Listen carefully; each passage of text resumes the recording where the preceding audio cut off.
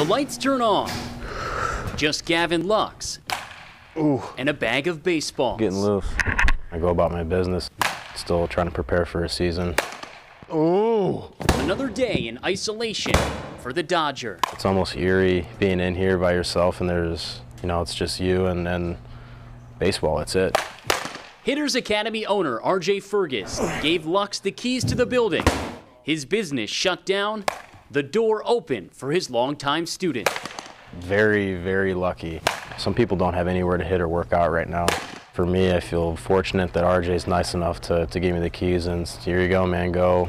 Every once in a while, Lux is joined by longtime friend Cyrillo Watson, You talked to anybody from the Dodgers recently? who is also in the Dodgers organization. Keeping their distance, That was nasty. they keep Watson's arm loose Mm -hmm.